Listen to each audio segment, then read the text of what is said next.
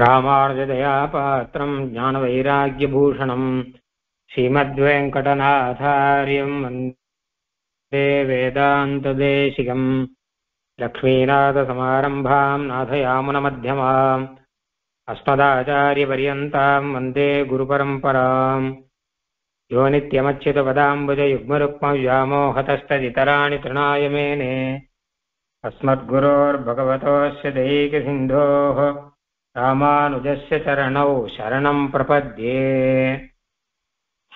श्रीवत्सचिह्नमिश्रेभ्यो नमोक्तिमधीमहि यदुक्तया स्त्रीकण्ठे யாந்தி மங்களசூத்திரதாம் மொழியைக் கடக்கும் பெரும் புகழான் பஞ்சமுக்குறும்பாம் குழியைக் கடக்கும் நம் கூறத்தாழ்வான் சரண் கூறியபின் வழியை கடத்தும் இராமானுசன் புகழ் பாடி அல்லா வழியைக் கடத்தல் எனக்கினியாதும் வருத்தமன்றே. கூறத்தாழ்வான் என்று சொல்லப்படக்கூடிய உத்தமமான ஒரு ஆச்சாரியனுடைய திருநக்ஷத்திரம் தை மாசம் ஹஸ்த நட்சத்திரத்திலே. அப்போ அந்த ஆழ்வாரை நாம் ஸ்மரிக்கும்படியாக சில விஷயங்களை நாம் அனுபவிக்கலாம். புறத்தாழ்வான் ஆழ்வார் கோஷ்டியிலே சேர்ந்தவர் இல்லைன்னா கூட ஆழ்வான் அப்படிங்கிற திருநாமத்தை சுவாமி ராமானுஜரே அவருக்கு கொடுத்திருக்கார். அவரும் ஆழ்ந்து நின்றபடியினாலே பகவத் பக்தியிலே ஆழ்ந்து நின்றபடியினாலே ஆழ்வான் அப்படின்னு பகவத் ராமானுஜரே சொன்னாராம். சுவாமி நம்மாழ்வாரானவர் எப்படியானால் நடுவிலே நடுவிலே மோகித்து போவார். அவர் திருவாய்மொழி அருளி செய்யும் போது மூன்று தடவை மோகித்து போனார் என்பதாக ஐதிஹ்யங்கள் கிருஷ்ணனுடைய சௌலபியத்திலே ஈடுபட்டு கிருஷ்ணனுடைய சௌந்தரியத்திலே ஈடுபட்டு இப்படியெல்லாம் தன்னையே மறந்த நிலையில நம்மாழ்வார் ஆறு மாசம் இருப்பாராம். கிட்டத்தட்ட அதே மாதிரி நிலையிலே இவர் சீவத்ச சின்ன மிஸ்ரர் என்று சொல்லப்படக்கூடியவர் கூரத்தாழ்வான் கூரம் என்கிற கஷேத்திரத்திலே அவதாரம் செய்தவர். அதனால கூரத்தாழ்வான் அவரும் அதே மாதிரி மோகித்து இருந்தார். ஒரு சமயம் அவர் அந்த மாதிரி திவ்ய பிரபந்த காலக்ஷேபம் சொல்லும் பொழுது அவர் மோகித்து இருந்ததை பார்த்து பகவத் ராமானுஜர் ஆழ்வானோ அப்படின்னு அருளி செய்தாராம். ஆழ்வார் போல இவர் இருக்கார். அதனால் ஆழ்வார் போலயே இருக்காரு என்கிற அர்த்தத்துல ஆழ்வானோன்னு அருளி செய்தார். அன்னிலிருந்து இவருக்கு கூறத்த ஆழ்வான் அப்படிங்கிற திருநாமம். நம்மாழ்வாராவது திருவாய்மொழி சொல்லச்ச நடுவில் நடுவில் மோகிச்சு போனார். கூறத்தாழ்வான் திருவாய்மொழி முதல் வரையிலேயே மோகிச்சு போனவர். உயர்வர உயர்நலம் உடையவன் எவனவன் சொல்லச்சியே. எத்தனை அழகா ஆழ்வார் சொல்லியிருக்கார். உயர்வர உயர்நலம் அப்படின்னு தனக்கு மேலே உயர்வு இல்லாதபடி உயர்ந்த நலத்தை உடையவன் அப்படின்னு இந்த மாதிரி ஆழ்வார் வந்து பெருமாளுடைய கல்யாண குணங்களை எல்லாம் சேர்த்து எத்தனை அழகாக சொல்லியிருக்கிறார் அப்படின்னு அதுவும் இல்லாம உயர்ந்தவன் பெருமாள் அப்படிங்கிறதையும் உயர் நலம்ங்கிற அப்படின்னால கல்யாண குணங்களை உடையவன் அப்படிங்கிறதையும் இந்த மாதிரி அவனுடைய பரத்வத்தை எப்படி முதலிலே அருளி செய்து மயர்வரம் அதிநலம் அருளினன் இவனவன் அப்படின்னு நமக்காக அவன் செய்யும் அனுகிரகத்தை அருளி செய்கிறார் இந்த பாசுரத்துல. அப்ப கூறத்தாழ்வான் இந்த வைபவத்தை எல்லாம் நினைத்து அப்படியே மூச்சித்து விழுந்து விடுவாராம். அதனால்தான் பகவத் ராமானதர் ஆழ்வான்னு திருநாமம் சாதித்தார். அந்த ஒரு வைபவத்தை கொண்டாடும்படியாகத்தான் கூறத்தாழ்வானுடைய திருநக்ஷத்திரத்திலே திவ்ய பிரபந்த தொடக்கம் என்பதாக ஒரு சம்பிரதாயம் இருக்கிறது. அதாவது மார்கழி மாசம் அத்தியனோத்சவத்துக்காக திவ்ய பிரபந்தத்துக்கு அனத்தியனம். திவ்ய பிரபந்தத்தை சொல்லக்கூடாது என்கிற காலமாக இருக்கச்ச அந்த உற்சவங்கள் எல்லாம் முடிந்த பிறகு தை மாசம் ஹஸ்த நட்சத்திரத்திலே ஆழ்வான் திருநட்சத்திரத்திலே திவ்ய பிரபந்த தொடக்கம் என்பதாக பல இடங்களில் வழக்கம். இது ஒவ்வொரு க்ஷேத்திரத்திலும் ஒவ்வொரு மாதிரி வழக்கம் உண்டு. பொதுவாக பல இடங்கள்ல கிரகங்கள்ல தை ஹஸ்தத்துல ஆரம்பம். அப்படி என்ன பிரபாவம்னா இவரும் ஒரு ஆழ்வான் அப்படிங்கிறது தான் அந்த பிரபாவத்தினால்தான் அன்னைக்கு ஆரம்பிக்கிறது என்பதாக வழக்கம் வைத்துக் கொண்டிருக்கிறார்கள். அந்த கூரத்தாழ்வானுடைய வைபவத்தை ரொம்ப சுருக்கமா பேசிட முடியாது அது. அவ்வளவு சுலபம் கிடையாது. இன்னைக்கு அடியே அதை பத்தி பேச போறதும் இல்லை. ஏன்னு கேட்டா மொழியை கடக்கும் பெரும் புகழான். அப்படின்னு திருவரங்க தமுதனார் சொல்றார். கூரத்தாழ்வானுடைய சிஷ்யர் திருவரங்க தமுதனார் அவர் ராமானுஜ நூற்றந்தாதி அருளி செய்யும் போது கூரத்தாழ்வானுக்காக ஒரு பாட்டு சாதிச்சார். ஏன்னா திருவரங்க தமுதனார் ராமானுஜருடைய சிஷ்யர் இல்லை. ராமானுஜருடைய சிஷ்யர் கூரத்தாழ்வான் அவருடைய சிஷ்யர் இவர். அதனால பகவத் ராமானுஜரை குறிச்சு அவர் நூற்றந்தாதி அருளி செய்யும் போது முதல்ல தன்னுடைய சொந்த ஆச்சாரியர். அவரை பற்றி சொல்லலாம். பகவத் ராமானுஜருங்கிற பிராச்சாரியன் தான் ஆச்சாரியனுடைய ஆச்சாரியன் தானே. அப்படின்னு கூரத்தாழ்வானை பத்தி பாடலாம் அப்படின்னு ஆரம்பிக்கிறார். அப்பதான் சொல்றார் மொழியை கடக்கும் பெரும் புகழான் பகவத் ராமானுஜோட வைபவத்தையாவது ஒரு நூற்றந்தாதிலே பாடி முடிக்கலாம். இல்ல ஒரு ஆயிரத்திலே பாடலாம். ஆனால் கூரத்தாழ்வான் வைபவத்தை எத்தனை லட்சம் பாட்டு பாடினாலும் பாடி முடிக்க முடியாது. மொழியெல்லாம் கடந்து நிற்கும் அவருடைய வைபவம் என்பதாக சொல்லுகிறார். அதிலும் குறிப்பாக வஞ்ச முக்குறும்பாம் குழியை கடக்கும் நம் கூறத்தாழ்வான் அப்படின்னு. முக்குறும்பு என்கிற குழியை கடந்து நிற்பவர். மூன்று விதமான தோஷங்கள் இல்லாதவர். மனுஷர்களுக்கு அகங்காரம் தானே பிடிச்சிருக்கு. கர்வம். கர்வம் என்கிற அகங்காரம். அது மூணு விதமா வரலாம். ஞானத்தினாலே வரலாம். இல்ல ஐஸ்வர்யத்தினாலே வரலாம். இல்ல ஆபிஜாத்தியம் நல்ல குடிப்பிறப்பினாலே வரலாம். கூறத்தாழ்வானுக்கு மூணு விதமாவும் வரல. மூணு பெருமையும் உண்டு அவருக்கு. ஆனா அகங்காரம் துளி கூட எட்டி பார்க்கல அவர்கிட்ட. ஞானத்தினாலே பார்த்தோமானால் பகவத் ராமானுஜருக்கு எந்த அளவு ஞானமோ அந்த அளவு ஞானம் இவருக்கு உண்டு. அதை காட்டிலும் ஒரு படி அதிகமாவே உண்டு என்பதாக சொல்லுகிறார்கள். ஏன்னா பகவத் ராமானுஜரே இவரை சகாயமா வைத்துக் கொண்டுதான் சிபாஷ்யம் சாதிக்கிறார். இவர் தான் போய் அந்த காஷ்மீரத்துல பகவத் ராமானுஜரோட கூட போய் அந்த ஓலையெல்லாம் மனப்பாடம் பண்ணக்கூடிய ஒரு தரம் பார்த்தாலும் மனப்பாடம் பண்ணுவார். அப்படிப்பட்டவர் அதனால இவர் பக்கத்துல இருந்தபடியினால்தான் பகவத் ராமானுஜருக்கு சிவாஷ்மம் எழுத முடிஞ்சது. லெட்டர் எழுத முடியாது. அப்படிப்பட்ட ஒரு நிலை. இப்ப எப்படிப்பட்ட ஞானம் இவருக்கு? மகா வையாக்கரண்டர் வியாக்கரண சாஸ்திரம். சகல சாஸ்திர பாரங்கதர் வேதாந்தம் அதுவும் பகவத் விஷயம் எல்லாத்திலையுமே கரை கண்டவர். கரை கண்டவர்னா சொல்லலாம் அதெல்லாம் சாதாரண விஷயம். பகவத் ராமானுஜரை இவரை கொண்டுதான் பகவத் விஷய காலக்ஷேபம் சொல்ல வைப்பாராம் யாராவது வந்து கேட்டானா ஆழ்வான்கிட்ட போய் கேளுங்கோ அப்படின்னுவார். அது மட்டும் இல்ல அதுக்கப்புறம் காலக்ஷேபம் முடிஞ்ச உடனே ஆழ்வான் என்ன சொன்னார் சொல்லுங்கன்னு வரான். அதை தான் அனுபவிக்கணும்னு ஆசை. இவரே நேர போலாமே பகவத் ராமானுஜரே. நான் அவர் ஒத்துக்க மாட்டார் ஆழ்வான் ஒத்துக்க மாட்டார். அவர் வந்தானா அவர் தான் சொல்லணும்னு ஆச்சாரியன் இல்லையோ சரி அப்படியானா அவர் சொல்ல செய்ய ஒத்துண்டார் அப்படின்னா அவர் என்ன சொன்னாலும் செய்வார். பகவத் ராமானுஜர் எதை சொன்னாலும் செய்யக்கூடியவர்.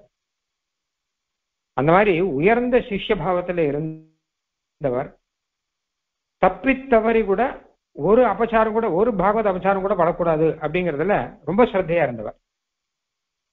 இப்ப என்ன சொல்றேன் இவருடைய ஞானத்தை பார்த்தோம்னா அபரிமிதமான ஞானம். அந்த காலத்திலே பகவத் ராமானுஜருக்கு சமமாக ஞானம் பெற்றிருந்தவர்கள் ரெண்டு பேர். ஒன்னு கூறத்தாழ்வான் ரெண்டாவது திருக்குறுகை பிரான் பிள்ளா. அதனாலதான் பிள்ளாணி கொண்டு இந்த பகவத் விஷயம்லாம் எழுதி வைக்கிறதுக்கெல்லாம் காரணம் அதுதான். தம்மோடொக்க சார்வஜாதி வைபவம் பெற்றவர்னு சொல்றார். பகவத் ராமானுதரை போல அவருக்கு என்ன தெரியுமோ அத்தனையும் பிள்ளானுக்கு தெரியுமா? அப்படி இருந்தோம் இவா ரெண்டு பேரும். அப்படி அப்படிப்பட்ட ஞான வைபவம் இருந்தா கூட கொஞ்சம் கூட அதனுடைய ஒரு கர்வங்கிறது இல்லாமல் பகவத் ராமானுஜருக்கு அத்தியந்த சிஷ்யராக இருந்தவர். பகவத் ராமானுஜருடைய சிஷ்யர்கள் யாரோ அவளுக்கெல்லாம் கூட அத்தியந்த வினயத்தோடு கூட அவாகிட்ட கூட வினயத்தோட நடந்துட்டவருங்க பெருமை இவருக்குண்டு அதே மாதிரிதான் ஐஸ்வர்யம். இவர் மகா ஐஸ்வர்யம் பெரிய ஜமீன்தாரா இருந்தவர் கூறத்துல ரொம்ப பெரிய பணக்காரராக இருந்தவர் எல்லாத்தையும் உதறி தள்ளிவிட்டு பகவத் ராமானுஜர் திருவடிகளில் வந்து ஆசிரியத்தவர். ஒரு தடையாவது தன்னுடைய ஐஸ்வர்ய பிரபாவத்தை நினைச்சே பார்த்தது கிடையாது. அது எல்லாத்தையும் விட்டானே விட்டாச்சு. ஒரு க்ஷணத்தில் விட்டுட்டார் எல்லாத்தையும். ராமானுஜர் திருவடிக்கு வந்தவர். அதே மாதிரி தான் ஆபிஜாத்தியம். நல்ல குலப்பிறப்பு எல்லாம் இருந்தா கூட பகவத் ராமானுஜருடைய சம்பந்தம் தான் நமக்கு சிரேஷ்டமானது அப்படிங்கிறத உறுதியா இருந்தவர். தன்னுடைய குடிப்பிறப்பெல்லாம் பெருசா சொல்லிக்காமல் ராமானுஜருக்கு ரொம்ப வேண்டிவா யாரோ அவா கிட்டலாம் ரொம்ப பிரதிபத்தி. அதான் திருக்குறையை பிரான் பிள்ளான்னு கொண்டு திருவாய்மொழிக்கு வியாக்கியானம் எழுத சொல்றார் பகவத் ராமானுஜர். அப்ப பக்கத்துல இருக்க யாராவது ஆக்ஷேபிக்கணுமே. ஏன் நாங்களாம் இருக்கோமே நாங்க எழுத மாட்டோமா? ஏன் அவரை கொண்டு எழுத வைக்கணும்? நீர் கூறத்தாழ்வான சொன்னா காலக்ஷேபம் சொல்ல சொன்னீர். காலக்ஷேபம் சொல்றதுக்கு ஒருத்தர் வியாக்கியானம் எழுதுறதுக்கு வேற ஒருத்தரா? இந்த மாதிரிலாம் கேள்வி கேட்கலாம் இல்லையோ? ஆனா ஒரு கேள்வியும் கிடையாது. கூரத்தாழ்வானுக்கு ரொம்ப சந்தோஷம். பிள்ளாணி ஞானபுத்திரன் சொல்லிட்டார் பகவத் ராமானுஜர். என்னுடைய ஞானபுத்திரர் அப்படின்னா. அடியேன்னு விட்டார் கூரத்தாழ்வார். ஒரு கேள்வியும் கிடையாது. ஒரு விதத்துல பார்த்தா பகவத் ராமானுஜரை விட ஞானத்துல பெரியவர் வயசுலயும் பெரியவர் கூரத்தாழ்வான் தான். ஆனா கூட ராமானுஜர் ஆச்சாரியனா ஏற்று அவர்கிட்ட தான் பகவத் விஷயம் அந்த மாதிரியாக வேதாந்தம் எல்லாம் காலட்சேபம் பண்ணதெல்லாம் அவர்கிட்ட தான்.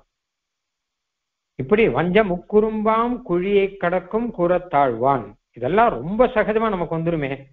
ஆனால் இதுல ஒரு லவலேசம் கூட இல்லாம இருந்தவர் அப்படின்னு இவருடைய ஐதிஹியங்கள்லாம் நிறைய இருக்கு. அப்படிப்பட்ட கூறத்தாழ்வான் வைபவம் மொழியை கடக்கக்கூடிய வைபவம் அதை நாம சொல்ல முடியாது. அதனாலே திருவரங்க தமுதனாரே அவருடைய பிரிய சிஷ்யராக இருந்தவரே அந்த ஒரு வரியில சொல்லிட்டு போயிட்டார். அதனால நாமளும் அந்த ஒரு வரியில சொல்லுவோம். அதோட நிறுத்திக்கலாம். இப்போ அடிய என்ன சொல்லணும்னு நினைச்சுட்டு இருக்கேன்னா கூரத்தாழ்வானுடைய சரணாகதி வைபவம் அப்படின்னு ஒரு விஷயம். அதை சுருக்கமா அடிய விஞ்ஞாபனம் பண்ண போறேன். கூரத்தாழ்வானுடைய கிரந்தங்கள் பஞ்சஸ்தவங்கள் ரொம்ப பிரசித்தமானது. அஞ்சு ஸ்தோத்திரம் இருக்கு பஞ்சஸ்தவம் என்பதாக மொத்தமா சேர்த்து சொல்ற வழக்கம். அதுல பல இடங்கள்ல கூரத்தாழ்வான் தான் அனுஷ்டானம் பண்ண சரணாகதி பத்தி சொல்றார். அதை என்ன சுவாமி தேசிகன் பல இடத்துல எடுத்திருக்கார். அதுல நமக்கு நிறைய சந்தேகங்களுக்கெல்லாம் நிவர்த்தி வரும். அதையெல்லாம் சுவாமி தேசிகன் எப்படி எடுத்திருக்கார் எப்படி நிவர்த்தி வரும் அப்படிங்கிறத பார்த்தோம்னா அதிலேயே நிறைய விஷயம் இருக்கு. அதை நம்ம மெதுவா கொஞ்சம் கொஞ்சமா பார்க்கலாம். மொத்தமா அதையும் பார்க்க முடியாது. ஓரளவு பார்க்கலாம் இப்போ. முதல்ல ஒரு விஷயம் அடிப்படையாக எல்லாருக்கும் இருக்கக்கூடிய சந்தேகம் என்னன்னு கேட்டா அனாதி காலமா பாபம் பண்ணின்னு இருக்கோம். இனிமேலும் நிறைய பாபம் பண்ண போறோம். அப்படி இருக்கச்ச நான் போய் பெருமாள் கிட்ட சரணாகிதி பண்றேன் அப்படின்னு ஒரு சப்தத்தை சொல்றோம். சிவன் நாராயண சரணம் சரணம் பிரபத்தியே அப்படின்னு சொல்றோம். சரணாகதி பண்றோம். ஏன்னா அவ்வளோ நல்லவனா? அதுவும் கிடையாது. அவ்வளோ நல்லவனும் கிடையாது. இல்ல பாப்பத்தை எல்லாம் நிறுத்திட்டோமானா அதுவும் கிடையாது. எதுவுமே கிடையாது. பின்ன என்ன கேட்டா ஏதோ சரணாகதின்னு சொன்னா உடனே பெருமாள் அப்படியே சரி சரணாகதி பண்ணிட்டாங்களா உடனே நான் உங்களுக்கு அனுபவம் பண்றேன் அப்படின்னு சொல்லுவான்னா இது நம்பும்படியாக இல்லை. ஏன்னா மகா பாபம் பண்ணவர்களுக்கு கூட ஏதோ சரணாகதின்னு சொன்னா பெருமாள் அனுகிரகம் பண்ணுவானா? அப்படின்னு ஒரு கேள்வி ஒன்று இருக்கும். அது மாத்திரம் இல்லாமல் மகா பாபம் பண்ணவர்கள் பெரிய பெரிய பாவங்கள் அனந்த பாவங்கள் பண்ணவர்களுக்கு இந்த சரணாகதி சொன்னபடினாலே அந்த பாப்பத்தை எல்லாம் பகவான் ஒழிச்சு விடுவானா ஏதோ சரணாகதின்னு சொன்னா அந்த வாக்கை வச்சுட்டே ஒழிச்சு விடுவானா இத்தனை பாவங்களையும் இதெல்லாம் எப்படி நம்ப முடியலையே அப்படின்னா அதுக்காக ஒரு ஸ்லோகம் சாதிக்கிறார் பாபீயசோபி சரணாகதி சப்தபாஜ நோபேக்ஷணம் மம தவோச்சிதமீஸ்வரஸ்ய त्वज्ञानशक्ति करुणासु सतीषु नैव பாபம் பராக்கிரமித்துமர்ஹதி மாமகீனம்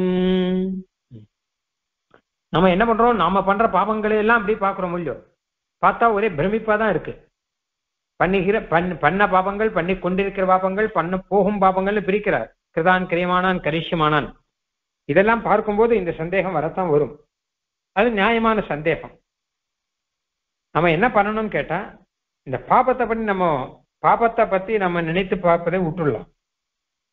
பகவானுடைய ஞானம் சக்தி கருணை. இந்த மூணை நினைச்சு பார்ப்போம். அது நம்ம பாப்பங்களை காட்டிலும் மகா பலிஷ்டமானது. எல்லாமே. ஞான சக்தி கருணாசு சதீஷு உன்னுடைய ஞானம் சக்தி கருணை. பகவானுடைய ஞானம் எப்படின்னு கேட்டா நம்ம பண்ற எல்லா பாப்பங்களும் தெரியும். மொத்தமும் தெரியும். அவனுடைய சக்தி எப்படின்னு கேட்டானா எதை எதை ஒழிக்கணுமோ அதெல்லாம் ஒழிச்சிட முடியும். அதெல்லாம் முடியாதுங்கிறது கிடையாது. மொத்தம் தீயினில் தூசாகும். அப்படிங்கிற மாதிரிதான். பெரிய பஞ்சு இருந்ததுன்னு வச்சுக்கோங்க. அதை தீயில போட்டோன்னா பஞ்சை அடைச்சு வச்சிருவோம் ரூம் கூட பஞ்சால அடைச்சு வச்சிருப்பான். இப்ப பஞ்சு கோவன் அப்படின்னு இருக்கு. ராஜபாளையத்து கிட்டலாம் அங்கெல்லாம் எப்படி இருக்கும்னு கேட்டான்னா பஞ்சு கோடனை போய் பார்த்தான்னா பஞ்சுங்கிறது கொஞ்சம் இதுவா இதுவும் அடைக்க முடியாது. அரிசி மூட்டை கட்டுற மாதிரியோ அப்படிலாம் கட்ட முடியாது. கோடவுன் முழுக்க அப்படியே பஞ்சு அடக்கி வச்சிருப்பான். ஒரு சின்ன தீ பொறி இருந்தா போதும். பஞ்சு மொத்தத்தையும் பஸ்மாக்கிடும் அதான் தீநீர் தூசம். அந்த மாதிரி தான் இதான் நல்ல உதாரணம். நம்ம பாப்பங்கள் அப்படி இருக்கச்ச நம்ம பாப்பங்கள் நிறைய பாப்பங்கள் மகா பாப்பங்களா இருந்தா கூட எம்பெருமானுடைய சங்கல்பங்கிறது தீ மாதிரி. அப்ப அதுக்கு இது பஞ்சு மாதிரி அந்த தீக்கு. ஒரு தீய போ தீ எதை பொசுக்கும்னா பல வஸ்துக்கள் பொசுக்கும். மரத்தை கூட தான் தீ எரிக்கும். பெரிய பெரிய மரத்தை எல்லாம் காட்டு தீ எரிக்கும். ஆனா பஞ்சு எரிக்கிறங்க தீக்கு எவ்வளவு அனாயாசம். மரத்தை கஷ்டப்பட்டு தானே எரிக்கணும் மெதுவாக தானே எரிக்கணும். பஞ்ச அனாயாசமா எரிச்சிருமோ இல்லையோ? அந்த மாதிரி நம்ம பாபங்களை மொத்தத்தையும் பகவானுடைய கருணா சங்கல்பமானது பஞ்சை எரிக்கிற மாதிரியாக தீ பஞ்சை எரிக்கிற மாதிரி எரிச்சிருவோம். இது உபநிஷத்தை சொல்ல உதாரணம் இது. நாச்சியாரும் சொல்லியிருக்காரு இதை. அதனால எம்பெருமானுடைய அந்த கருணை அந்த சக்தி இந்த ரெண்டையும் பார்க்கணும். பார்த்தோம்னா நம்ம பண்ண பாப்பங்களுக்கெல்லாம் காட்டிலும் மேல இருக்கு. அது எங்கேயோ இருக்கு. அதனாலே அதை நினைத்து பார்த்து நாம் சமாதானம் அடைய வேண்டும் அப்படின்னு இதனுடைய தாற்பயம். பிரஜான சக்தி கருணாசு சதீஷு நைவ பாபம் பராக்கிரமித்துமர்ஹதி மாமகீனம். அந்த எம்பெருமானுடைய கருணையும் மீறி என்னுடைய பாபம் அப்படிங்கிறது ஏதாவது ஆகுமானா அவன் கருணையை மீறி யாருமே எதுவுமே பண்ண முடியாது. ஏன்னா அப்படிப்பட்ட கருணை உடையவன் அப்படிப்பட்ட சங்கல்பம் சத்திய சங்கல்பம் உடையவன். அதனாலே எம்பெருமான் நினைத்தானால் கட்டாயம் அதை செய்ய முடியும் அவனால. செய்வதற்கான சக்தி உண்டு செய்வதற்கான கருணை உண்டு. அதனாலே பாபீய சோபி சரணாகதி சப்தபாஜா நான் மகா பாபிஷ்டனா இருந்தா கூட சரணாகதின்னு ஒரு சப்தம். அதை நான் சொன்னேன்னா எம்பெருமானுடைய அனுகிரகம் எனக்கு கட்டாயம் கிடைக்கும். அப்படிங்கிறத நான் நம்ப முடியும். அப்படின்னு இந்த ஸ்லோகத்தினுடைய அர்த்தம். அதே மாதிரி இன்னொரு ஸ்லோகம் சரணவரணவாகியம் யோதிதா ந பவதி பதசாபி தீபூர்விகா इति यदि दयनीयता मय्यहो वरदतवय भवेत् ततः பிராணிமி இந்த ஸ்லோகத்துல இன்னொரு நம்மளுடைய அடுத்த சந்தேகத்துக்கு பதில் இருக்கு சரண சரண வரண வாக்கு நாம சொல்றோம் சரணாகதி வார்த்தை சொல்றோம். எம்பெருமான் சன்னதியில போய் சிவன் நாராயண சரணோ சரணம் பிரபத்தியே அப்படின்னு இல்ல உன்னையே சரணமாக பற்றுகிறேன் அப்படின்னு சரணாகதி வாக்கு இருக்கும் இல்லையோ வார்த்தை. இந்த வார்த்தை கூட நன்னா தெரிஞ்சுட்டு நன்னா ஆழமான பக்தியோட ஆழமான ஸ்ரத்தையோடு கூட நாம சொன்னோமா அப்படின்னா அது கிடையாது. சரணாகதியும் ஏதோ சடங்குக்கு பண்ற மாதிரி தான் பண்ணிட்டு இருக்கோம். இந்த காலத்துல எல்லாமே சடங்கு ஆயிடுச்சு உபநயனம் ஒரு சடங்கு விவாகம் ஒரு சடங்கு. சடங்குன்னா என்ன அர்த்தம் கேட்டா பெயருக்கு கடமைக்கு பண்றாலே தவிர அதனுடைய பெருமை அப்படிங்கிறது பல பேருக்கு தெரியல. அப்படிப்பட்ட ஒரு காலம் இது. உபநயனம்னா அது எப்படிப்பட்ட மகா விஷயம்? உபநயனத்தினாலே எப்படி அவன் காயத்ரி மந்திரோபதேசம் வரப்போறது? அதுக்கப்புறம் வந்து வேதாத்தியனம் பண்ண போறான் திரிகால சந்தியாவந்தனம் பண்ண போறான் பெருமாளுக்கு அவனுக்கு வந்து கைங்கரியம் பண்றதுக்கான வாய்ப்பெல்லாம் வரப்போறது? இது எப்படிப்பட்ட விஷயம். உபநயனம்ங்கிறது அடுத்த பிறப்புன்னு சொல்றாங்க. சாஸ்திரங்கள்ல. இரண்டாவது பிறப்பு அப்படிங்கிறார். இனிமே அவனுக்கு வேதாத்தியனத்திலே வேதாத்தியனம் சாஸ்திராத்தியனம் வேதாந்தம் ஞானம் எல்லாம் வரப்போறது பக்தி எல்லாம் வரதுக்கான ஒரு காரணம் அது உபநயனம்ங்கிறது. ஆனால் இப்ப பாருங்க அது ஒரு ஒரு நாள் ஷோ அது. பூனல் மாட்டுன்னு போயிடுறான் அந்த மாதிரிதான் விவாகம்ங்கிறது. விவாகம் இருந்தா தானே எத்தனையோ தர்ம காரியங்கள் தர்மானுஷ்டானங்கள் பண்றதுக்கு ஒரு சம்ஸ்காரமாக விவாகம் இருக்கு. ஆனால் அதுவும் ஒரு ஷோவாக போறது. அந்த மாதிரி தான் சமாசேனம் சரணாகதி எல்லாமே கிட்டத்தட்ட அந்த மாதிரி ஆயிடுமோ பயமா இருக்கு. சரி அப்ப சரணாகதினா அது எப்படிப்பட்ட பெரிய விஷயம்? நமக்கு இந்த ஜென்மத்தோட முடிச்சு கொடுத்து இனிமேல் சம்சாரம் இல்லாதபடி பண்ணி நமக்கு மோட்சத்தை கொடுத்து பகவத் கைங்கரியத்தை கொடுத்து நம்மளை ஆனந்தத்திலே வைக்க வேண்டியது. அது சரணாகதிங்கிறது. ஆனா அந்த சரணாகதி கூட ஸ்ரத்தையோட நான் பண்ணேனா? அப்படின்னா இல்லையே. நான் சரணாகதி பண்ணச்சேன் எனக்கு எதுவுமே தெரியாது. ஏதோ வேணா சொன்னா அப்படின்னு செஞ்சேன். அதைத்தான் சொல்றார். சரணவரண வாகியம் யோதிதா ந பவதி பதசாப்பி தீபூர்விகா. நான் சரணம்னு வார்த்தையெல்லாம் சொன்னேன் வாஸ்தவம் தான் சிவன் நாராயண சரணம் சனம் பிரபத்தையெல்லாம் சொன்னேன். ஆனா அதெல்லாம் தீப புத்திபூர்வமா தெரிஞ்சு ஸ்ரத்தையோட தான் சொன்னா அதெல்லாம் ஒன்றும் சொல்லலை. ஏதோ பெயருக்கு உப்புக்கு சொல்லி வச்சேன் அப்படிங்கிறது தான் அப்ப அது கூட சரணாகதி ஆகுமா? சரணாகதிங்கிறது ஸ்ரத்தையா இருந்தா தானே சரணாகதி ஆகும். இல்லாம கூட எம்பெருமான் அனுகிரகம் பண்ணுவானா அப்படின்னு கேள்வி வரும். இது எதி தயனீயதாமையோ வரத தவ பவே தத ஆனால் வரதா ஆனா வரதராஜ பெருமான் என்ன நினைக்கிறான்னா ஸ்தவத்துல அழகா சொல்றார். ஐயோ பாவம் இதுக்கு சரணங்கிறது கூட ஒழுங்கா சொல்ல தெரியலையேன்னு சொல்லிட்டு இன்னும் கருணை அதிகமா இருந்தான் பொதுவாகவே சரணாகிதி பண்றவன்ட்ட கருணை அதிகம் பெருமாளுக்கு. ஏன் அப்படின்னு கேட்டா வேற எதுவும் உபாயம் செய்ய முடியாமல் தானே சரணாகிதி பண்றான். அவன். அப்ப எந்த உபாயமும் செய்ய முடியாமல் சரணாகிதி பண்றானே பாவம் அப்படின்ட்டு அவன்கிட்ட கருணையோட அனுகிரகம் பண்ணுவான் அந்த சரணாகிதி கூட ஒழுங்கா பண்ண தெரியாமல் ஒழுங்கா பண்ணுவதற்கு துப்பு இல்லாமல் அப்படின்னு இருக்கும்போது இந்த சரணாகிதி கூட ஒழுங்கா பண்ண தெரியலையே. சரணங்கிற வாக்க கூட இந்த இதுக்கு வந்து ஒழுங்கா மனஸ்பூர்வமா சொல்ல தெரியலையே. ஏதோ பெயருக்கு தானே சொல்றது. அப்படின்னு அதை பார்க்கும்போது பகவானுக்கு இன்னும் கருணை அதிகமாகும்? இது ஏதி தயனீயதாமையகும் ஏன்னா யாருக்கு அடியோடு ஒண்ணும் முடியலையோ அவ கிட்ட தானே தயை அப்படிங்கிறது நிறைய வரும். அந்த ரீதியில இவன் கிட்ட இன்னும் பெருமாளுக்கு தய வரும். ஏன்னா அவர் பேரருளான பெருமானானபடினாலே அவருக்கு தய வரும். அப்படி நீ இருக்கிறபடினால தத பிராணி மீ. ஆனால்தான் நான் ஜீவிச்சுட்டு இருக்கேன் அழுவார் நான் உயிர் பொழைச்சுட்டு இருக்கிறதே உனக்கு அப்படிப்பட்ட ஒரு பேரருள் இருக்கிறபடினாலதான் இல்ல ஸ்ரத்தையா யார் சரணாகதி பண்றாளோ மனப்பூர்வமா யார் சரணாகதி பண்றாளோ கொஞ்சம் கூட அஸ்ரத்த கலக்காமல் கொஞ்சம் கூட அவமரியாதை கலக்காமல் யார் சரணாகதி பண்றாளோ அவளை தான் நான் ரட்சிப்பேன்னு பெருமாள் ஒரு சங்கல்பம் எடுத்திருந்தான்னு வச்சுக்கோங்க. அப்ப நான் தொலைஞ்சேன். ஆனா ஏதோ ஒன்று சரணாகதி பண்ணித்தா இதுக்கு இது கூட ஒழுங்கா பண்ண தெரியலையே நம்ம என்ன பண்றது? சரி பார்ப்போம் அப்படின்னு சொல்லிட்டு அவங்கிட்டையும் இன்னும் கருணையோட பகவான் அனுகிரகம் பண்றதுதான். வெறும் அருளாளன் இல்ல பேரருளாளன். பேருக்கு அருளாளன் இல்ல பேரருளாளன் அப்படின்னு இருக்கிறபடினாலதான் ததா பிராணிமி நான் உயிர் பொழைச்சேன் அப்படின்ற பொழைச்சேன் இல்லாட்டா? நான் என் சரணாகதி பெருமாள் ஏத்துக்க மாட்டான். ஆனால் ஏதோ அஸ்ரத்தையா சொன்னா கூட இந்த வாக்கை வச்சுட்டு பகவான் வந்து எனக்கு தயை பண்ணி இருக்கான் அதனால நான் தப்பிச்சேன் பிழைத்தேன் அப்படின்னு இதுல சொல்ற शरणवर्णवागियं योदिता न भवति बत सापि धीपूर्विका इति यदि दयनीयतामय्यहो वरद तव भवेत् ततः प्राणिमे அதே மாதிரியாக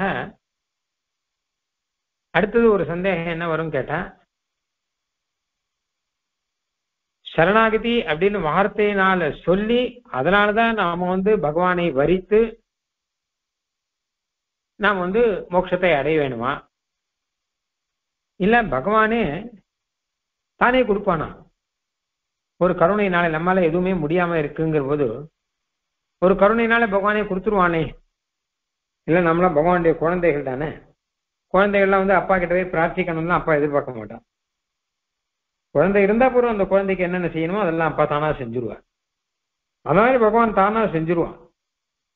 நம்ம வந்து நம்ம காரியத்தை நம்ம தனியா பார்த்துக்க வேண்டிய அவசியம் இல்லை. பகவானே ரட்சிப்பான். அதனால நம்ம பகவானை வரிக்க வேண்டாம் பகவானை பிரார்த்திக்க வேண்டாம் பகவானிடம் பிரபத்தி செய்ய வேண்டாமோ அப்படின்னு சாதாரணமா தோணும். லோக யுக்தியை வைத்துக்கொண்டு இப்படி சாதாரணமா பார்த்தா தோணும்.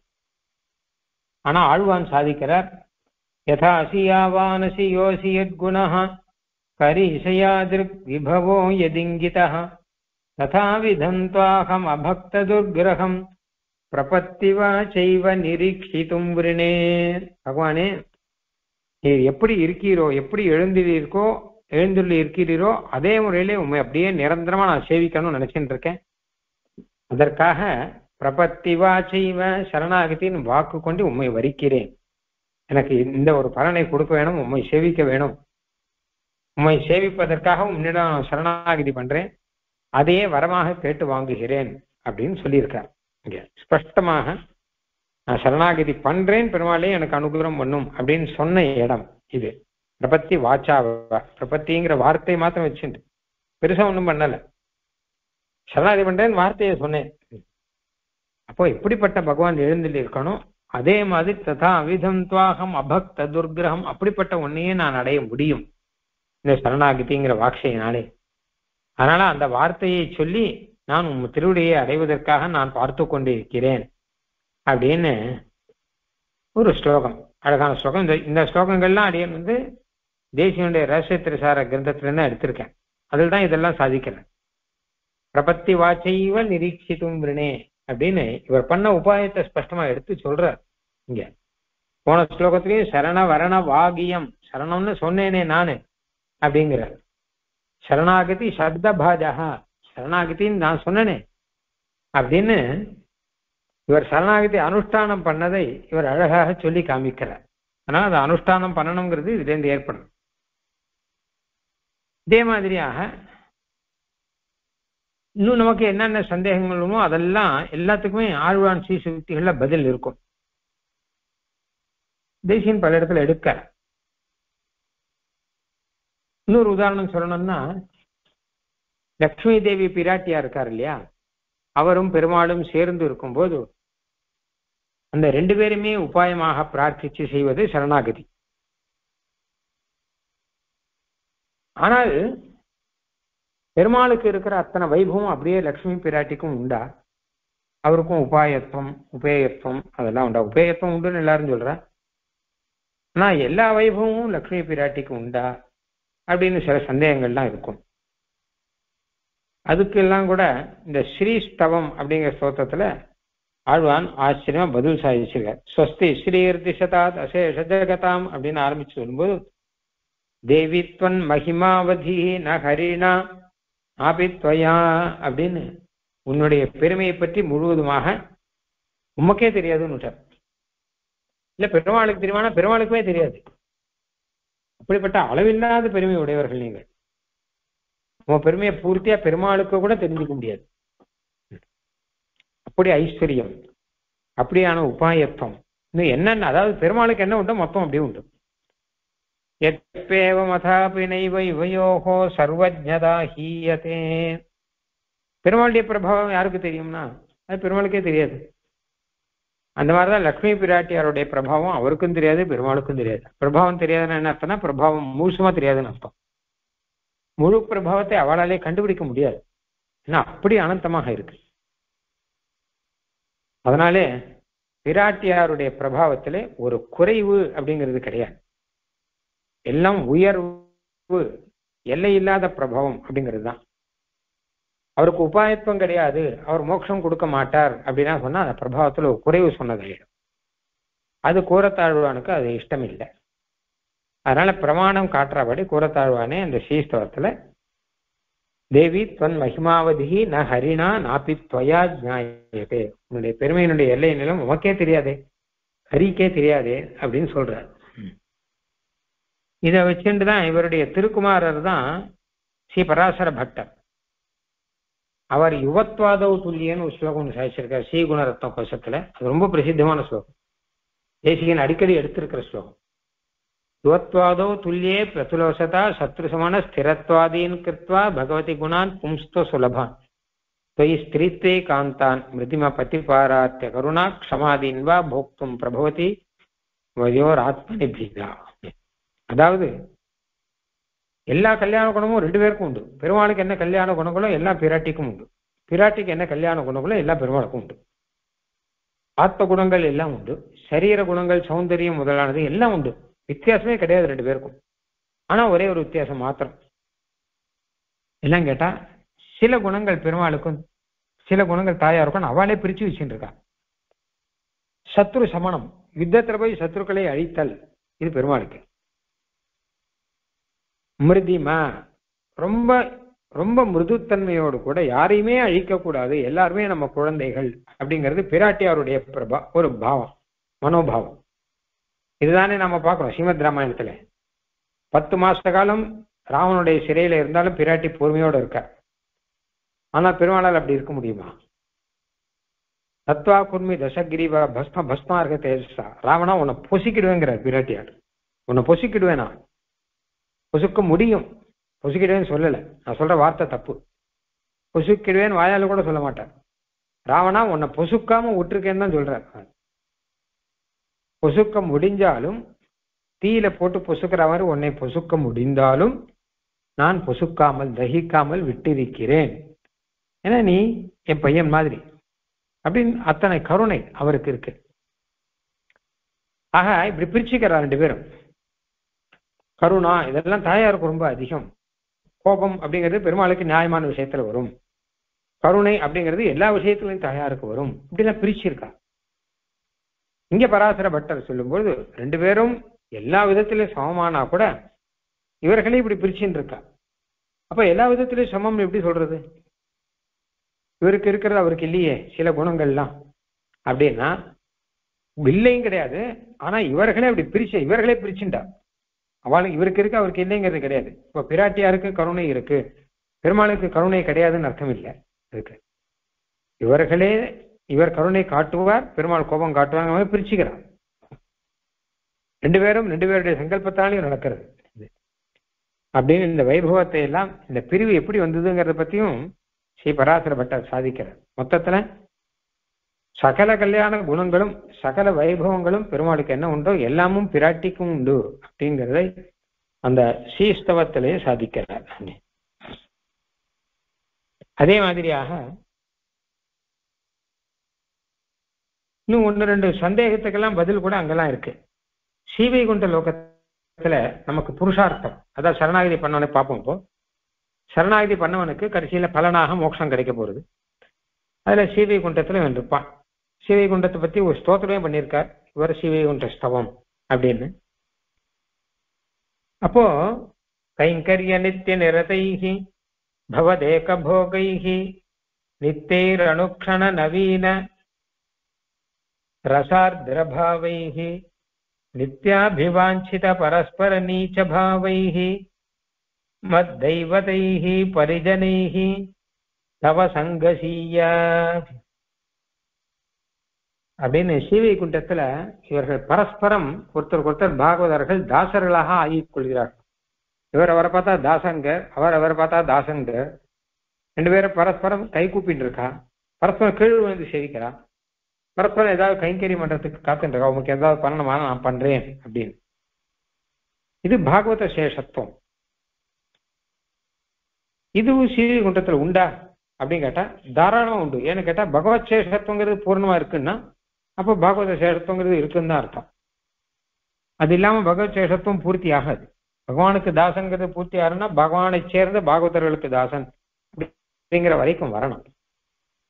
அந்த பாகவத சேஷத்துவம் இருக்கு இல்லையா? அதை பத்தி ஒரு ஒரு சின்ன விசாரம் ஒண்ணு சுவாமி தேசியம் பண்ணிருக்கார் இந்த பாகவத சேஷத்துவம் அப்படிங்கிறது சுவாபாவிகமா இல்ல ஔபாதிகமா அப்படின்னு.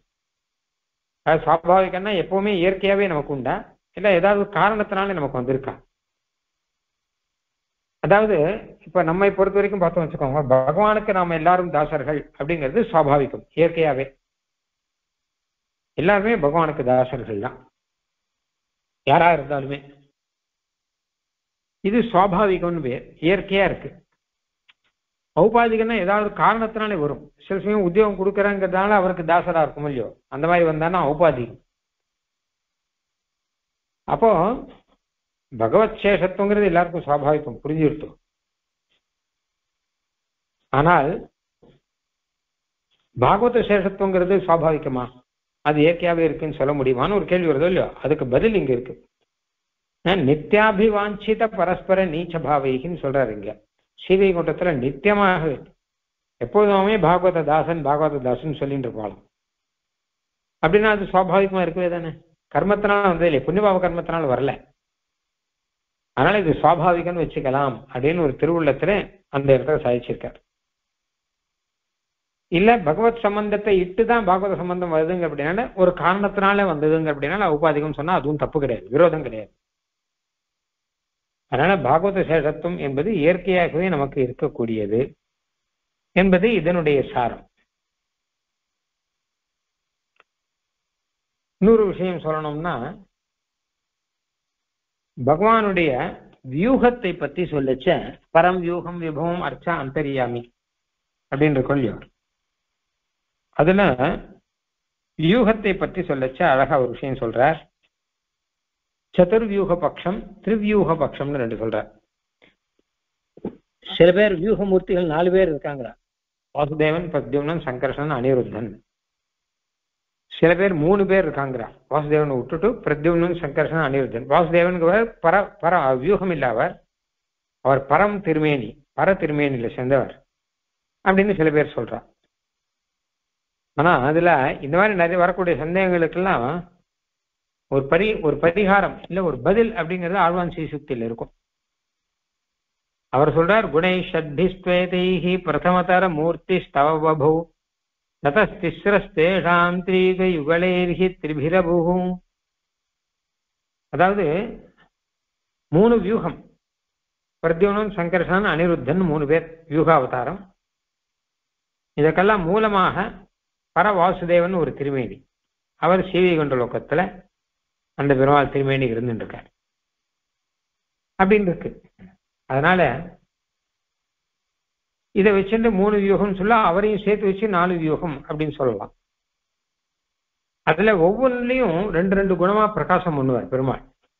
ஒரு இடத்துல ஞானம் சக்தி இன்னொன்னு பலம் ஐஸ்வர்யம் அப்படின்னு வரும். அப்ப இந்த ரெண்டு குணம் தான் அவருக்கு இருக்கா? மற்ற குணங்கள்லாம் இல்லையா? அப்படின்லாம் அர்த்தம் இல்லை. அதாவது வியூக மூர்த்திகள்ல மூணு ரூபத்துல ஒத்தொத்தருக்கு ரெண்டு ரெண்டு குணம் வீதம் ஆறு குணம் அப்படின்னு சொல்லியிருக்கு. இந்த ஆறு குணம் சொல்றக்கூடியனால ஒருத்தருக்கு ரெண்டு ரெண்டு குணம் தான் உண்டு மற்றது கிடையாதுன்னு அர்த்தம் கிடையாது. எல்லா குணமும் உண்டு. ஆனா ரெண்டு ரெண்டு தான் பிரகாசப்படுத்துவார் பெருமாள் வெளிக்காட்டுவார் அப்படின்னு அர்த்தம். அதுதான் இந்த ஸ்லோகம் சொல்றது. இதை எடுத்து தேசியன் வந்து அந்த சங்கைக்கு பரிகாரம்னு சொல்லியிருக்கார். வியவஸ்தா யாச்சைஷா நனு வரத சா ஆவிஷ்கிருதிவசாத்து ஒருத்தருக்கு ரெண்டு ரெண்டு குணம் சொல்றதெல்லாம் அந்த அந்த குணத்தை அவர்கள் ஆவிஷ்காரம் பிரகாசப்படுத்துகிறார்கள். அப்படிங்கிறது விஷயம் வந்தே தவிர அந்த குணம் தவிர வேற குணங்கள்லாம் எதுவுமே கிடையாது. இந்த ரெண்டு குணம் தான் மட்டும்தான் இருக்கும். அப்படின்லாம் அர்த்தம் கிடையாது இருக்கு இந்த சுவாமி தேசியன் வந்து திருவியூக பட்சம் நடக்கும் மூணு வியூகம்னு சில ஆச்சாரியால் சொல்லிட்டு இருக்கா. அவளுடைய தாற்பயம் என்ன அப்படின்னு அந்த இடத்துல எடுத்து சொல்றேன். இதே மாதிரியாக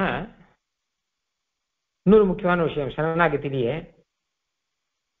சரணாகதி பண்ணா சரணாகதி உபாயமா? இல்ல எம்பெருமான் உபாயமா? அப்படின்னு ஒரு கேள்வி வருது. உண்மையில பார்த்தா ரெண்டு பேருமே உபாயம். அதாவது ரெண்டு பேர்னா என்ன? சரணாகதிங்கிறது சாத்தியோபாயம். எம்பெருமான்கிறவர் சித்தோபாயம். சித்தோபாயமான எம்பெருமானே பலன் தரப்படினால அவர் சித்தோபாயம். ஆனா சாத்தியோபாயம் பண்ணினா தானே பலன் தருவார். அதனால சாத்தியோபாயம். அப்ப சரணாகதி பண்ணா எம்பெருமான் பலன் தரான் அப்படின்னு இருக்கு. இதுல என்ன சந்தேகம் கேட்டா? எம்பெருமானே உபாயம் அப்படின்னு சாஸ்திரங்களை சொல்லியிருக்கு. அவன் ஒருத்தன் தான் உபாயம்னு அர்த்தம். வேற எதுவுமே உபாயம் ஆகாது அவன் ஒன்னு அவன் ஒருத்தன் தான் உபாயம். மாமேகம் அப்படின்னு சொல்ற மாதிரியாக அவன் ஒருத்தன் தான் உபாயம். மற்ற எதுவும் உபாயமா சேர்க்கக்கூடாதுன்னு இருக்கு. அப்படி இருக்கிற சரணாகதியும் உபாயம்னு எப்படி சொல்லலாம் அப்படின்னு. அதுக்கு ஆழ்வான் பதில் சாதிக்கிறார். வரத தவகலு பிரசாதா திருத்தேன் சரணமிதி வச்சோபி மே நோதியாத்து. அழகா நான் சரணங்கிற வார்த்தை சொன்னேன். உபாயமாக சொன்னேன். உன்னை சரணாகிதி பண்றேன். சரணோ சரணம் பிரபத்தியே அப்படின்னு சொன்னேன். ஆனால் வரதராஜா உன்னுடைய அனுகிரகம் இல்லாட்டா அந்த வார்த்தை கூட என் வாயில வராது. சரணங்கிற வார்த்தை கூட என்னுடைய மனோபாவங்கள்லாம் இருக்கட்டும். ஆயத்திலிருந்து ஒரு வார்த்தை சொல்ல முடியும் சரணம்னு. அதுவும் உன்னுடைய அனுகிரகம் இல்லாட்டா வராது. அதனால உன்னுடைய அனுகிரகம் தான் எல்லாத்துக்கும் மூல காரணம். அதனால நீ தான் காரணம். அப்ப பெருமாள் தான் உபாயம் சொன்னா தப்பு கிடையாது அப்படின்னு ஒரு அர்த்தம். அது என்ன தாற்பயம் கேட்டான்னா பெருமாள் தான் உபாயம் அப்படின்னா அப்ப சரணாகதி உபாயம் இல்லையானா சரணாகதி பண்ணினா கூட அந்த சரணாகதியை பண்ண வச்சு அந்த சரணாகதியை ஏற்றுக்கொண்டு பெருமாள் தான் உபாயம் ஆகும். நான் சரணாகதி பண்ணதே பெருமாள் தான் பண்ணேன். இல்லாட்டா எப்படி பண்ண முடியும்? வரதா உன்னுடைய அனுகிரகம் இல்லாட்டா என் வாக்குல சரணங்கிறது வராது. நீ அனுகிரகம் பண்ணவே தான் வந்தது. அப்ப சரணாகதியை முதல்ல பண்ண வச்சவர் யாருன்னா பெருமாள். சரணாகதி பண்ணும்போது அதை ஏற்றுக்கொள்பவர் யாருன்னா பெருமாள். சரணாகதிக்கு பின்னாடி ஞாபகம் வச்சுன்னு பலன் கொடுக்கறவர் யாருன்னா பெருமாள். அப்போ பெருமாள் தான் உபாயம் அப்படின்னு சொல்றது தப்பு இல்லையே பெருமாள் தான் உபாயம். இது எல்லாமே பெருமாள் தான் பண்ணிட்டு இருக்காரு இப்போ. அப்போ பெருமாள் தான் உபாயம் அப்படின்னு சொல்றதுல எந்த தப்புமே கிடையாது. நாம பண்றது ஒரு வியாஜம் இது மட்டும்தான் ஆகும். இந்த வியாஜத்தை வச்சுன்னு பெருமாள் அனுகூலம் பண்றார் அப்படின்னு தான் ஆகும். ஒரு உதாரணமாக ஒரு ஊர்ல ஒரு ஏழையான ஒருத்தன் இருந்தான். ரொம்ப கஷ்டப்பட்டு இருந்தான் அவனுக்கு வந்து வீடு கிடையாது வாசல் கிடையாது. ஆனா குழந்தைக்கு கல்யாணம் பண்ணணும் இப்படி எல்லாம் கஷ்டப்பட்டு இருந்தான் அப்ப அந்த ஊர்ல இவன் படுற கஷ்டத்தை பார்த்து அந்த ஊர்ல தனிக்கர் ஒண்ணு பண்ணார். ஒரு பெரிய தனுக்கர் ஒரு கருணாமூர்த்தி ஒருத்தர் இருந்தார். அவர் சொன்னார் நான் சொல்றபடி செய்ப்பா நீ எனக்கு ஒன்று எழுதி கொடு. இந்த மாதிரி நான் வந்து கஷ்டப்பட்டு இருக்கேன் எனக்கு உதவி பண்ணுங்கன்னு சொல்லி நான் உனக்கு உதவி பண்ணிடுறேன். ஏன்னா அவருக்கு கணக்கு வேணும்னு வச்சுக்கோங்க. அவர் ஒரு கணக்கு காமிக்கணும் முடியும் அதனால் நீ எழுதி கொடு நான் உனக்கு நிறைய உதவி பண்றேன் அப்படின்னா. உடனே அவன் எனக்கு எழுத படிக்க தெரியாதே அப்படின்னா சரி கவலைப்படாத நானே எழுதுறேன் அப்படின்னு சொல்லிட்டு அவரே எழுதினார். அவன்கிட்ட கை நாட்டு வாங்கிட்டார். அந்த லெட்டரை வாங்கி வச்சிருந்தார். அவனுக்கு ரூபாய் கொடுத்து வீடு கட்டி கொடுத்தார். அதுக்கப்புறம் வந்து குழந்தை கல்யாணத்துக்கான ஏற்பாடெல்லாம் பண்ணி கொடுத்தார் அவனுக்கு சகல சௌகரியங்களும் பண்ணி கொடுத்தார் அப்ப இத்தனை சௌகரியமும் பண்றதுக்கு பிரதான உபாயம் எதுன்னு கேட்டானா அவர் தான் இவன் எழுத கூட இல்லை. இவன் கை நாட்டு போட்டிருக்கான். அப்ப யாரோ ஒருத்தன் சொன்னா நீ அவர்கிட்ட அப்ளிகேஷன் போட்டியா? அப்படின்னா ஆமா போட்டேன் அப்படின்னா நீ போட்டா தானே கொடுக்குறாரு அப்ப நீ அப்ளிகேஷன் போட்டியோ இல்லையோ? அதுவும் உபாயம் இருக்கோ இல்லையோ? அப்படின்னு கேட்டா இது எப்படி நான் உபாயம்னு சொல்ல முடியும்? ஏன்னா என்ன இந்த அப்ளிகேஷன் எழுத வச்சதே அவர் தானே அவர் தான் எனக்கு பதிலாக எழுதினதே அவர் தான் நான் என்ன பண்ணிட்டேன்? நான் ஒண்ணுமே பண்ணலை. அவர் தான் எல்லாத்தையும் பண்ணார். என்ன எழுதுன்னு சொன்னது அவர் தான் எனக்கு எழுத தெரியாதும் போது என்ன எழுது எழுதி தந்ததும் அவர் தான் எல்லாமே அவர் தானே அப்ப அவரை தான் உபாயம். இந்த இடத்துல அவர் சித்தோபாயம். இவன் எழுதி தந்தது சாத்தியோபாயம். சாத்தியோபாயம் பண்ணினா கூட அதனுடைய அப்ராதானியம் அது அத்தனை பிரதானம் இல்லை. ஏன்னா சித்தோபாயம் இல்லாட்டா இந்த உபாயமே பண்ண முடியாது. அது இருக்கிறதா இதை உபாயமே பண்ண முடிஞ்சது. அதைத்தான் சொல்றார் வரதா தவகலு பிரசாதாதிர்த்தே சரணமிதி வச்சோப்பிமே நோதியான். சுவாமி தேசியனுக்கு இது ரொம்ப பிடிச்ச வரி. ஏன்னா அடிக்கடி நிறைய இடத்துல சாதிக்கிறேன் இதை. உன்னுடைய உன்னுடைய அனுகிரம் இல்லாட்டா நான் சரணாகதி பண்றதாவது என் வாக்குல கூட சரணங்கிறது வரவே வராது. நாங்க சரணாகதி பண்றது? நான் சரணாகதி பண்ணதுக்கும் பிரதான காரணம் நீர் தான் அப்படின்னு விட்டார். அதனாலே நாம் புரிந்து கொள்ள வேண்டியது என்ன அப்படின்னு கேட்டார்னா எம்பெருமான் தான் பிரதான காரணம். சரணாகதிங்கிறது ஒரு வியாஜம் என்பதாக. இந்த வியாஜ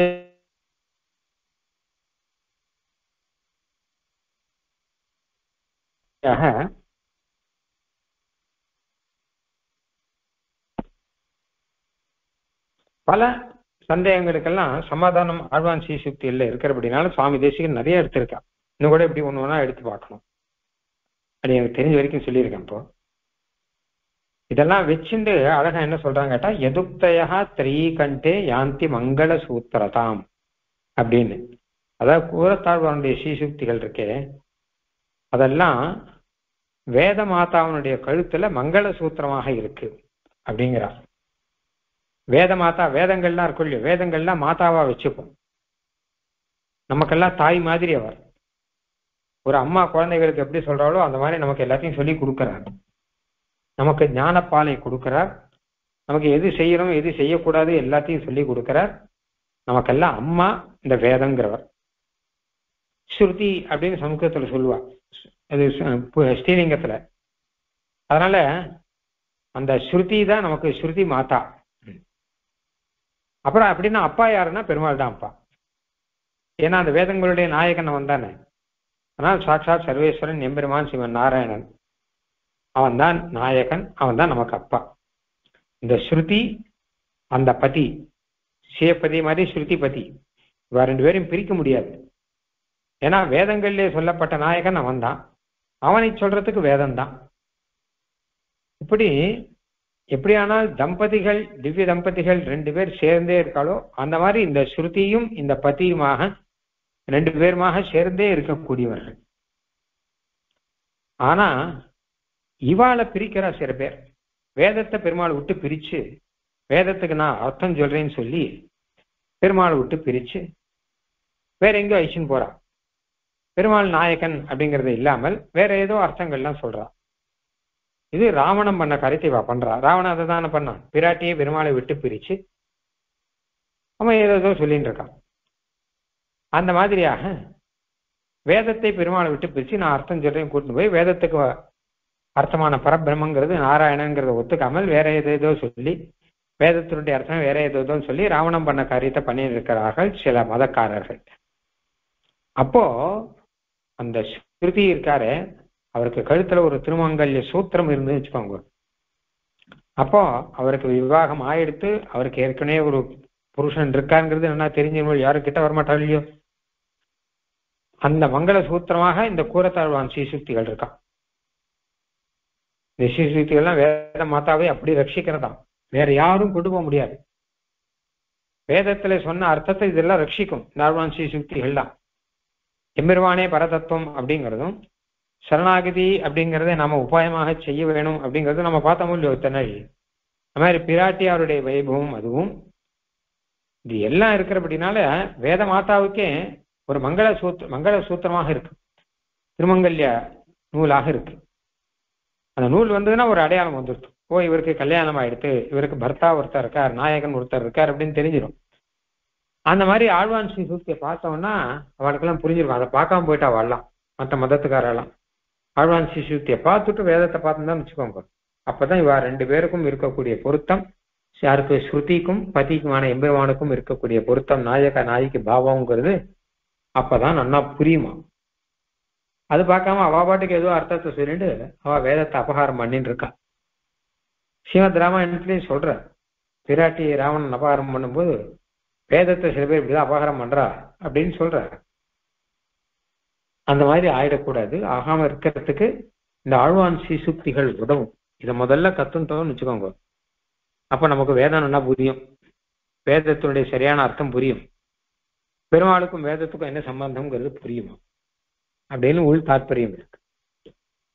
ஸ்ரீவத்ஸ சின்ன மிஸ்ரேபியோ நம உக்திம் அதீமஹி எதுக்தயா திரையீ கண்டே யாந்தி மங்கள சூத்திரதாம். வேதத்துடைய கண்டத்திலே மங்கள சூத்திரம் மாதிரி வேதத்துக்கு அலங்காரம் மாதிரியாகவும் அதே சமயம் பாதுகாப்பாகவும் அதே சமயம் வேதத்தினுடைய பாவத்தை புரிந்து கொள்ள வழி செய்வதாகவும் இந்த ஆழ்வான் ஸ்ரீ சுத்தி இருக்கு. கிட்டத்தட்ட இதே அர்த்தத்தை வச்சுட்டு தான் சுவாமி தேசியம் வந்து பகவத் ராமானுஜ ஸ்ரீ சுத்தியை சொல்ற பிரணாமம் லக்ஷணமுனி பிரதிகிருண்ணாத்து மாமகம் பிரசாதயதி எத் சூக்தி சுவாதீன பதிகாம் ஸ்ருதி பிரசாதயத்திங்கிற ராமானுஜருடைய ஸ்ரீசுக்திகள்லாம் வேத மாதாவை அலங்காரம் பண்றது. ஏன்னா அவருக்கு பதி இருக்காரு இல்லையோ? அதனால பத்தியோட சேர்ந்து இருக்காங்கிறதுக்காக நிறைய அலங்காரம் பண்றதான் அலங்காரத்தோட அவரை பார்த்தா தான் என்ன புரியும் அப்படின்னு அர்த்தம். அதுவும் இந்த இந்த தனியின் அடிப்படையில வந்த ஸ்லோகம் அது. அதுவும் பகவத் ராமானுடைய தனியன் அது அதுவும். அதனாலே எந்த சாஸ்திரம் ஆனாலுமே இந்த ஆழ்வானுடைய ஸ்ரீசூக்தி வச்சு பார்க்கணும் இதை தவிர ஆழ்வான் பல ஸ்ரீசூக்திகள் அருளி செய்திருக்கார். பல பாட்டுகள்லாம் அருளி செய்திருக்கார். நித்தியம் கிரந்தம் முதலானதெல்லாம் அருளி செய்திருக்கார். அப்படிலாம் இருக்கு. சுவாமி தேசியம் நிறைய எடுத்திருக்கார். பல இடங்கள்ல எடுத்திருக்கார். அதிமானுஷ ஸ்தவங்கள்லாம் நமக்கு நிறைய சந்தேகங்கள்லாம் நிவர்த்தமாகும். அது தவிர நிறைய விஷயங்கள் எல்லாம் புதுசு புதுசா நம்மளால தெரிஞ்சுக்க முடியும். அனுபவமும் உண்டு. அவதார அனுபவங்களும் நாம் நன்னாக பெற முடியும் அப்படின்னு அதனாலே அப்படிப்பட்ட ஆழ்வான் சீசுக்திகள்ல கூரத்தாழ்வானுடைய சரணாகதி வைபவம் அப்படிங்கிற விஷயத்தை நாம இப்ப சங்கிரமா பார்த்தோம். ஒரே ஒரு வைபவம் ஒன்று சொல்லி முடிச்சோம் நாடியன் ஸ்ரீமத் ரகசிய திரசாரத்தில் ஒரு விஷயம் சாதிக்கிறார். ஆழ்வான் வைபவம் ஒண்ணு. ஆழ்வானுடைய அந்திம தசையில ஆழ்வான் கடைசியில படுத்துட்டு இருந்த உடம்பு முடியாமல் திருநாட்டுக்கு போக போறார். அப்ப பகவத் ராமானுஜன் அங்க வந்துட்டார். அந்த இடத்துக்கு. ஆழ்வாரே கடைசி காலத்துல ஆழ்வான் கஷ்டப்பட்டு இருக்கார். இன்னும் ராமானுஜர் அங்க வந்துட்டு நிறைய பேர் எல்லாரும் கூட இருக்கா ஆழ்வானுக்கு ரொம்ப சந்தோஷம். ராமானுஜருக்கு முன்னாடி அவர் போறார். அதுல ரொம்ப சந்தோஷம் இருக்கு ஏன்னு கேட்டா பகவத் ராமானுஜர் வரைச்ச அவருக்கு பூர்ண கும்பம் வைக்கணும்னு இவருக்கு எண்ணம் மனசுல. சீவை குண்டத்துல பகவத் ராமானுஜர் வரைச்ச நான் பூர்ண கும்பம் வைப்பேன் அப்படிங்கிறது. பூர்ணம் வச்சு உங்க வரவேற்கிறதுக்காக நான் முன்னாடியே போறேங்கிற அப்படின்னா அவருக்கு எவ்வளவு ஆசை இருக்கும்னு பார்க்கணும் அதுல. கேட்டா ராமானுஜர் விட்டு பிரிஞ்சு போறதுக்கு இஷ்டம் இல்லை. ஆனா கூட அது பிரிவு கிடையாது. இன்னும் அதுக்காக நான் காத்துட்டு இருக்கேங்கிற அப்படி இருந்தவர் அவர் கடைசி காலத்துல இருக்கும்போது பகவத் ராமானுஜர் அவருடைய காதுல போய் துவய மந்திரத்தை சொன்னாராம். சிவன் நாராயண சரணம் சரணம் பிரபத்தியன்னு. அதை பார்த்த உடனே எல்லாருக்கும் ரொம்ப சந்தோஷம். ஆஹா ஆழ்வான் சாட்சாத்தா மோட்சத்துக்கு போக போறார் ஏன்னா ஆச்சாரியனே கடைசியில் வந்து காதல துவயமந்திரத்தை சொல்லிட்டாருன்னா வேற என்ன வேணும்?